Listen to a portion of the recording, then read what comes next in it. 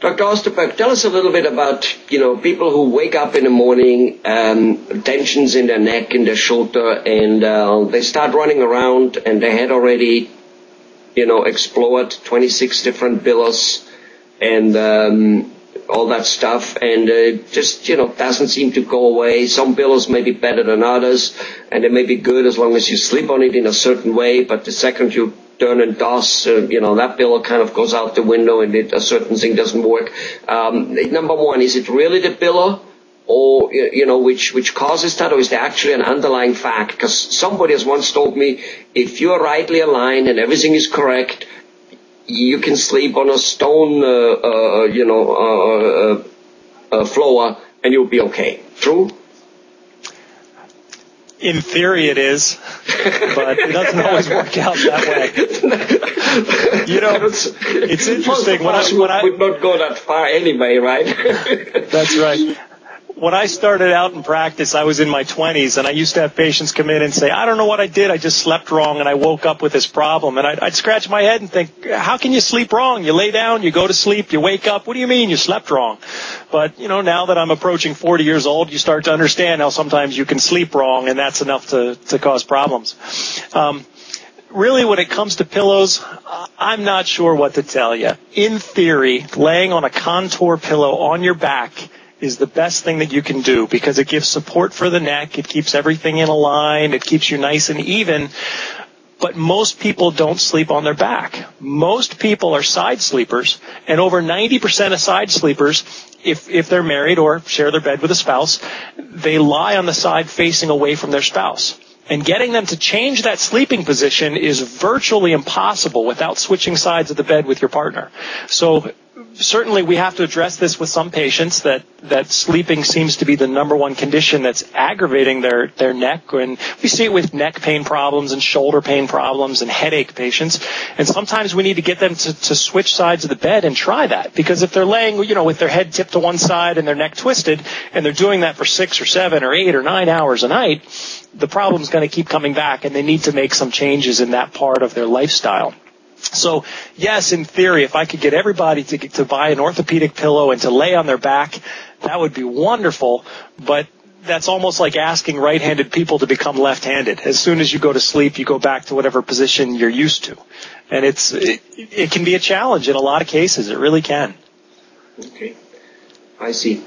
So, um, so switching the bedside uh, is actually not a bad idea, I think, because you you you you then forced to sleep. And I, I you know, I'm, I'm getting the picture in my head uh, uh, when someone's my wife and me do that for whatever reason. Uh, it is true. You're then uh, sleeping on your side, but on the opposite side. So I guess if uh, almost everybody does, all if, across the board, almost everybody does. Mm-hmm. Mm-hmm. Mm-hmm. Well, all right. Good. So um, an orthopedic pillow is a good thing if you manage to um, do, do sleep on your back. Which which is it true that sleeping on your back is period the most healthy sleeping position you could have? It's the most neutral position. You're not putting any bending in the spine. See, when we sleep on our side, it's not that side lying is so bad, but most people who sleep on their side, they tuck their chin down to their chest. And having your head in that, in that bent forward position for long periods isn't necessarily good if you have neck problems. That's the, that's my biggest concern with, with people who sleep on their side. It's not so much laying on the side, it's that they're, they always lay on their side and tuck their chin down. So if they can manage to lay on their side and keep their keep their chin up and keep their head elevated, it's really not that bad. And I would recommend that they try to switch back and forth from right side sleeping to left side sleeping, so there's some variety. They just just don't fall in the same pattern for long periods of time over and over. Right, right. Well, the same pattern as you mentioned it before in another video, repetitive, uh, uh, repetitive work, repetitive thing. Even though it's, I mean, after all, we get carpal tunnel symptom from uh, working on the computer and it doesn't yep, exactly look. Over. It doesn't look like something which strains us, but a few years later, next thing you know, is uh, some of the muscles are always used, I guess, and uh, that's what happens. Our body can adapt to some amazing things, but it's really not designed to do the same thing over and over for 40 or 50 or 60 hours a week. You know, if, if you look back, you know, thousand years we were hunters and gatherers and farmers and and we're out moving all the time. We don't stand in one spot and do the same things over again and again. And it's, it's really tough on us. That's a lot of the problems that we see in our office. Mm-hmm, mm-hmm. I can see that.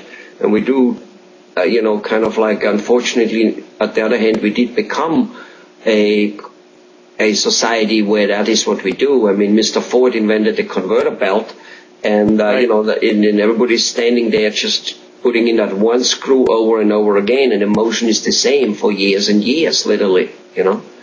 Right. We specialize and then we get repetitive use injuries. That's why even in the exercise and the workouts, I recommend that people change their workouts frequently, you know, from, from day to day. If you work out three days a week, you shouldn't do the same workout every day. You should have a lot of variation in your lifestyle like that. Mm, is that maybe why you see some, um, you know, high-powered sports people, the ones who go and, and win medals, they always will have one or two other sports they're pretty goddamn good at it. They may not be champions in that one, but they're good at it and they do it so that they even out. Is is is, is that kind of what it is?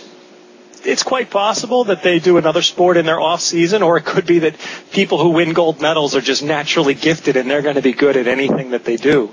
Mm. There are some people that are fortunate like that. Mm. Well, my point was to so that they kind of like they they even out another sport. They might, might not be yes. good at it, but uh, but they, they they do other sports in order to not to have because even if you know you're a skier and if you only train the ski muscles all day long, I guess you're going to get into that very same problem uh, than a guy working on the computer or working on a machine slightly bent forward eight eight hours right. a day a whole life. You know. All right. Too much of anything is not a good thing. Too much of anything is not a good thing. Do everything in moderation, even moderation, right? That's right. I use that as an excuse whenever I screw up. Thanks.